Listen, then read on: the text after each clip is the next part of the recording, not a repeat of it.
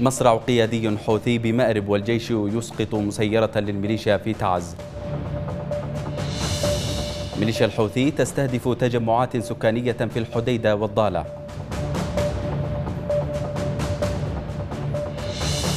وزلزال بقوة 5.9 درجة يضرب خليج عدن.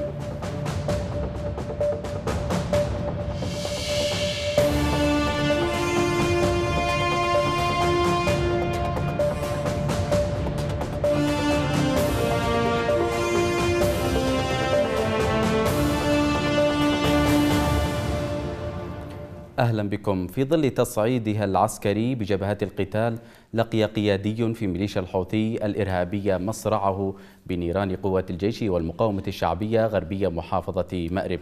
ووفقا لمصدر عسكري فقد أفشلت قوات الجيش والمقاومة محاولة تسلل حوثية إلى مواقعها غربية مديرية رغوان. ما أسفر عن مقتل قيادي ميداني واثنين من العناصر المهاجمة. يشار أن المحاولة الحوثية جاءت عقب دفع ميليشيا الحوثي بتعزيزات مسلحة إلى جانب استحداث خنادق وأنفاق وتحصينات في جبهات المشجح وملبوزة والبلق الشرقي وأم ريش والعلم ومدغل ومجزر ورغوان. عثر مواطن على حقل ألغام زرعته ميليشيا الحوثية الإرهابية جنوب شرقية محافظة مأرب بحسب شهود عيان. وبحسب الشهود فقد عثر المواطن على حقل الألغام شرقية ثمد بمدينة حريب. وقام بانتزاع تلك الألغام غير أن الأهالي يخشون وجود حقول أخرى في المنطقة. وخلفت الألغام والعبوات الناسفة التي زرعتها ميليشيا الحوثي بشكل عشوائي في القرى السكنية والطرقات. خلفت آلاف الضحايا معظمهم من النساء والأطفال. وسط اتهامات حكومية للميليشيا بزراعة نحو مليوني لغم. أعلنت قوات الجيش إسقاط طائرة مسيرة تابعة لميليشيا الحوثي غربية تعز وقال المركز الإعلامي لمحور تعز العسكري إن قوات الجيش والمقاومة أسقطت طائرة استطلاعية حوثية أثناء تحليقها باتجاه مواقع عسكرية غربية المحافظة. وخلفت الألغام التي زرعتها ميليشيا الحوثي آلاف الضحايا من المدنيين معظمهم من النساء والأطفال. وسط اتهامات حكومية للميليشيا بزراعة نحو مليوني لغم. جددت ميليشيا الحوثية الإرهابية قصف واستهداف الأحياء السكنية جنوب مدينة الحديدة ضمن جرائمها المتواصلة ضد الأهالي. ووفقا لسكان محليين فقد استهدفت الميليشيا قرى آهلة بالسكان جنوب مديرية التحيتة. مستخدمة قذائف المدفعية ما تسبب بحالة من الهلع والخوف في صفوف الأهالي خاصة النساء والأطفال. يأتي ذلك بعد أيام من زيارة بعثة الأمم المتحدة إليها للاطلاع على انتهاكات الميليشيا وجرائمها المتواصلة بحق المدنيين. في الضالع شنت ميليشيا الحوثي قصفا بالطيران المسير على قرى سكنية شمالية المحافظة وذلك ضمن انتهاكاتها المتواصلة ضد الأهالي. ووفقا لمصدر محلي فقد قصفت ميليشيا الحوثي بالمدفعية والطيران المسير عددا من القرى السكنية شمال غربية المحافظة مخلفة أضرارا مادية في ممتلكات المواطنين. وبحسب المصدر فقد تزامن القصف على الأحياء السكنية مع قصف للميليشيا استهدف سيارة إسعاف في جبهة بتار. أدانت شبكة حقوقية تفجير ميليشيا الحوثية الإرهابية منزل القيادي في المقاومة الشعبية علي الحجازي في منطقة الروضة جنوبي محافظة مأرب وهو المنزل الحادي عشر ضمن المنازل التي فجرتها بالمحافظة منذ فبراير الماضي. الشبكة اليمنية للحقوق والحريات في بيان لها قالت إن ما تقوم به الميليشيا من جرائم نهب لمنازل المواطنين وتفجيرها يعد مخالفا لكل الأنظمة والشرائع السماوية والاتفاقيات والمعاهدات الدولية. ودعا البيان المجتمع الدولي والمنظمات الأممية وكل المنظمات العاملة في مجال حقوق الإنسان إلى إدانة هذه الجرائم الوحشية التي تعبر عن إرهاب منظم تمارسه ميليشيا الحوثي ضد اليمنيين من المخالفين لأفكارها ومعتقداتها. هذا وتتواصل عمليات الترهيب الحوثية ضد القطاع الخاص من خلال استهداف كبرى المجموعات التجارية والصناعية العريقة ضمن مخطط حوثي أهدافه. تواجه مجموعة هائل سعيد أنعم إحدى أهم روافع رأس المال الوطنية حربا حوثية مركزة. ضمن حرب أوسع تستهدف القطاع الخاص وحرية النشاط الاقتصادي في المناطق الواقعة تحت احتلال عصابة الإرهابيين الحوثيين. لكنها مؤخرا تركز بشكل أكبر على بيت هائل إذ كثفت إجراءاتها التعسفية بحق المجموعة والمصانع والشركات والمؤسسات والمنتجات التابعة لها تحت مبرر الالتزام بالقوائم السعرية التي حددتها الميليشيا. وبالتوازي مع تلك التعسفات شنت حملة إعلامية تقودها عناصر تابعة للحوثيين بأسلوب منظم ومنسق متهمة مجموعة هائل سعيد أنعم بالعمالة لصالح بريطانيا في محاولة حوثية لشيطنة المجموعة التجارية تمهيدا للاستيلاء على أصولها وممتلكاتها ومصانعها وشركاتها. يقول مراقبون في مجال الاقتصاد الوطني إن تركيز عصابة الحوثية الإرهابية على مجموعة هائل سعيد أنعم لممارسة إجراءاتها التعسفية بمبرر القائمة السعرية ينطلق من استراتيجية خطيرة لتخويف كل القطاع التجاري والاستثماري في البلد والبطش به من خلال البدء بالرأس الكبير. الممارسات التعسفية الحوثية للاستحواذ على القطاع الاقتصادي بدأت في قطاع النفط والغاز والاتصالات والصرافة والبنوك وفي مجال العقارات والأدوية. والآن المواد الغذائية حيث تركز حاليا على البطش بمجموعة هائل سعيد أنعم الرائدة في قطاع التغذية وهو ما يفرض تحديا خطيرا يهدد المجموعة التجارية والقطاع الخاص. أكثر من أي وقت مضى.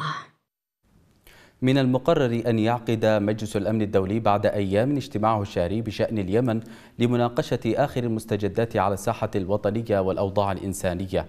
وبحسب مصادر مطلعة فإن الاجتماع سيعقد في الثاني عشر من يونيو الجاري وذلك في جلسة إحاطة للمبعوث الأممي تليها مشاورات مغلقة لبحث كافة المستجدات والأوضاع العسكرية والإنسانية.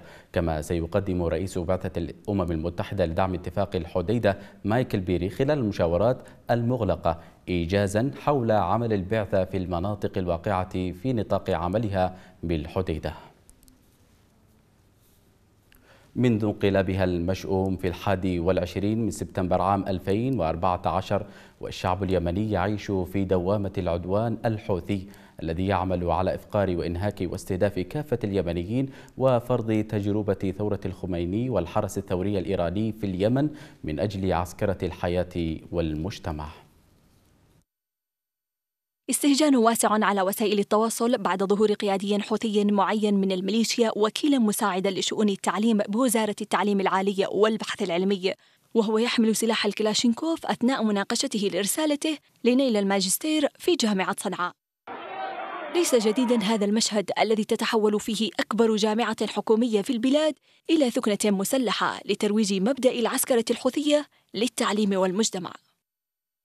لكن الجمهور مع مرور الوقت يعيش حالة الصدمة مع تكرار هذه الممارسات التي تجعل الناس في حيرة حول إمكانية التعايش مع جماعة تنظر للحياة من فوهة بندقية، بندقية صممت خصيصا لقتل اليمنيين الرافضين لحكم الميليشيا العنصرية.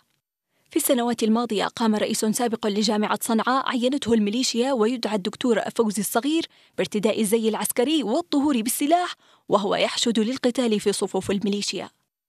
تحولت الجامعة إلى وكر للترويج للميليشيا وفكرها العنصري. تمثل جامعة صنعاء إحدى النقاط المستهدفة على لائحة الميليشيا ضمن مخطط عسكرة المجتمع. وجعل اليمنيين في صراع مع طواحين الهواء وضد عدو افتراضي يتجسد في أمريكا وإسرائيل. بينما يتم إقامة مزيد من الأنشطة لتجنيد الأطفال والشباب والزج بهم للعدوان على مأرب ومحافظات يمنية أخرى. وفقا لتقارير حقوقية تتعدد مظاهر عسكرة الحياة المدنية في اليمن ابتداء من المدرسة والجامعة. تشكل المراكز الصيفية أهم معسكرات التحشيد، شعارها علم وجهاد، يلخص هذا التوجه الميليشاوي لعسكرة جزء من الشعب واستخدامهم ضد الجزء الآخر، بينما تتفرغ القيادة العائلية الميليشاوية لحظ المكاسب والأموال والثروات.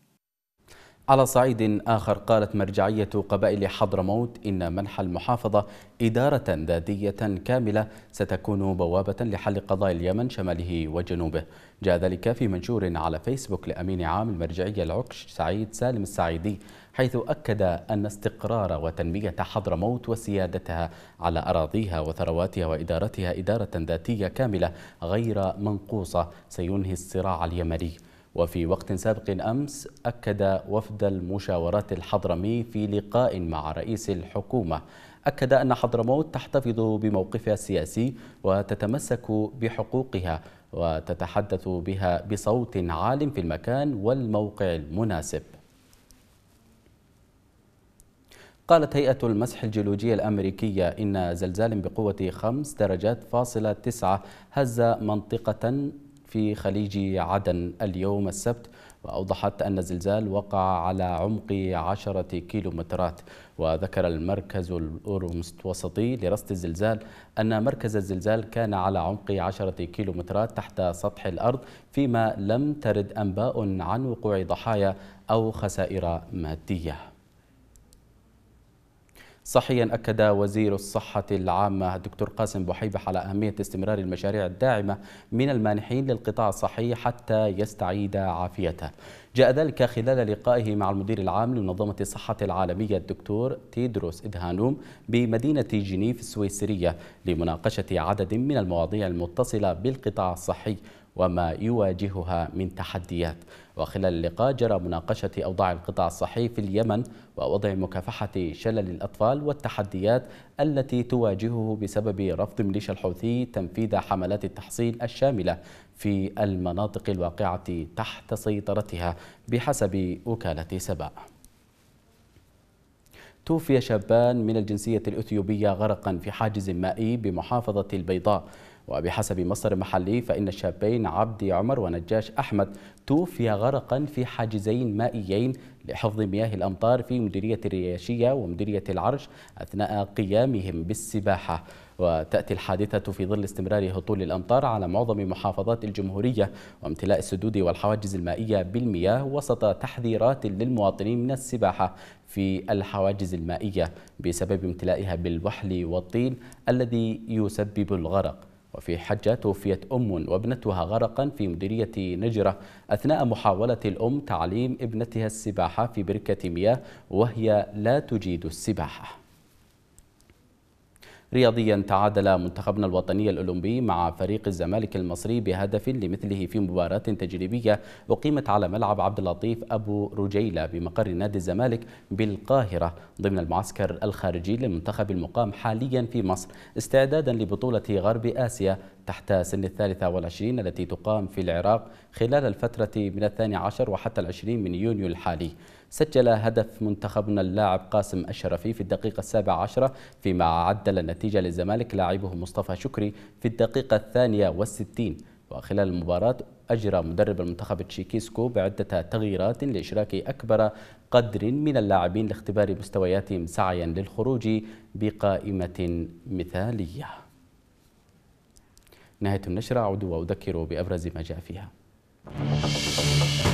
مصرع قيادي حوثي بمأرب والجيش يسقط مسيرة للميليشيا في تعز ميليشيا الحوثي تستهدف تجمعات سكانية في الحديدة والضالة.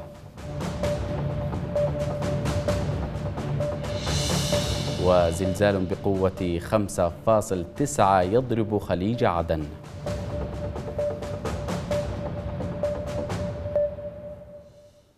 ختاما في أمان الله.